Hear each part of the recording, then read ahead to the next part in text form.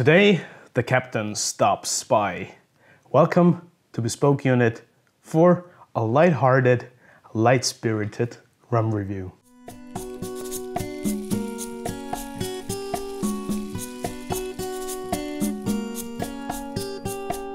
Hello and welcome everybody to another spirits review here at Bespoke Unit. It's summertime, it's time for a bit of Caribbean feel, it's time for a light-hearted and light-spirited rum review with the one and only Captain Morgan. As always for this review, we're using Bespoke Unit's liquor formula, which is a quantifiable review matrix that you can use for your own tasting purposes. And if you want to jump right to the results of this review, you can find the entire filled out formula underneath the video, giving you the final score of Captain Morgan White Rum. Now, most of you will probably be well familiar with Captain Morgan's spiced rum of the brand that is now part of Diageo Spirits conglomerate. The white rum, on the other hand, is a crisp, clean, fresh rendition of the brand that is suitable for mixing for all your favorite rum, Caribbean long drinks, and cocktails. Like, of course, Captain and Coke, or a mojito, and a classic daiquiri. With this review, I want to explore whether there is some more layers and nuances other than the fluffy marketing story and the iconic emblem of the captain in there. Um, and we'll get right to it, then we'll explore some pairings and um, which particular drinks or cocktails you could make with it. As for the beginnings, the bottle is simple, clean, and minimalistic with, of course, the captain proudly featured on the front. It's got a metal screw cap on top which I believe in the price range that this is in is perfectly fine. Speaking of, this will probably set you back 11, 12 dollars or euros depending on where you are. And it's a 37.5%. So definitely in the very low spectrum of uh, a spirit or a rum for that matter. And the product is filtered in order to achieve the perfectly clean white color. And that's where we come to the visuals. As you can see, it's crisp, it's clean, it's minimalistic. Um, there's not much to be said in terms of color. The viscosity is a medium, I would say, with uh, prominent legs running down the side of the glass, but in a rather fast fashion. I'm pretty sure there's quite a bit of sugar in here to make this more enjoyable and more um, charming, if you will, but We'll get to that in a second. The first nose is fresh, it's clean, it's green, it's grassy, but also with a lot of vanilla and coconut and a slight green unripe banana.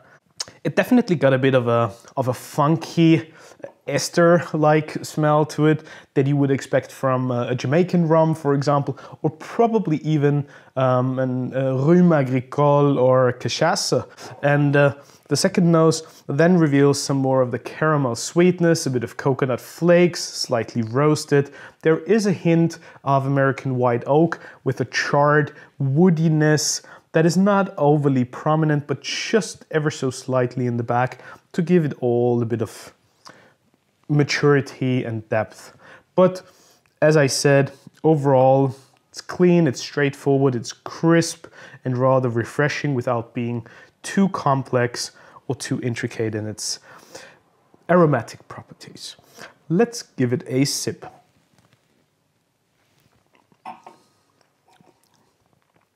Given that this is 37.5% alcohol, yes, it is light, it is fresh, it is clean. I can still detect a, a little bit of an alcoholic burn, the company does not disclose any of the individual components that are in there, um, other than there is Jamaican included here, and I guess pretty much all of what comes into the final bottle is column distilled. Some of the blend components are certainly matured for quite a bit of time, but afterwards charcoal filtered in order to get rid of the color and provide you with this white rum experience. But on the palate, you can feel there is a bit of sweetness, there's a bit of tanginess, a bit of a sharp alcoholic note, despite being under 40% volume by alcohol. But it does what it should do, and that is give you a simple, clean, fresh rum experience with hardly any aftertaste whatsoever. It's, it's really a short finish, I would say.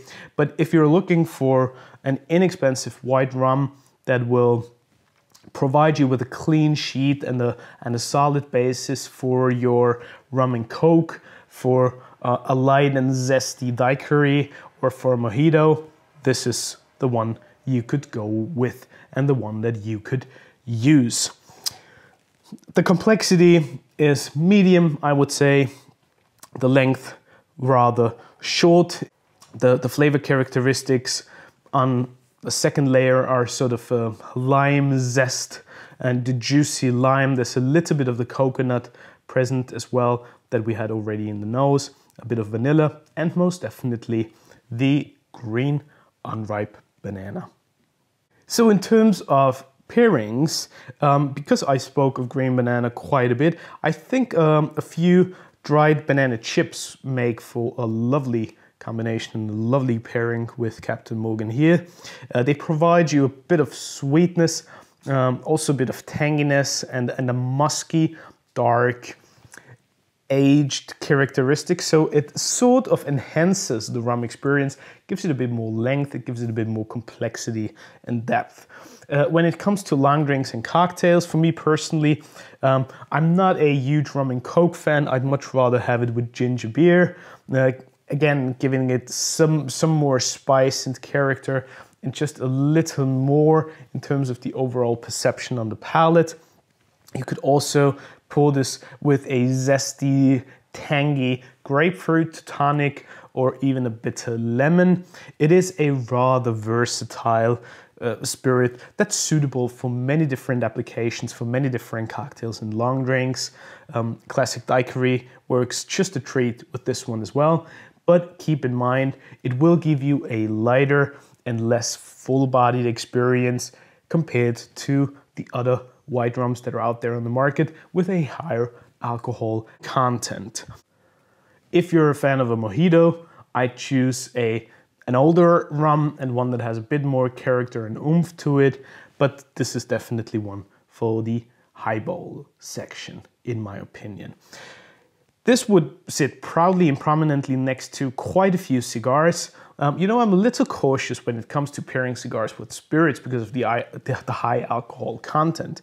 So this one is quite a good combination with a light and zesty and fresh cigar, or you go for something with a darker wrapper that has a bit more sweetness and some of these raisin, cinnamon-ish, and dark, leathery nuances.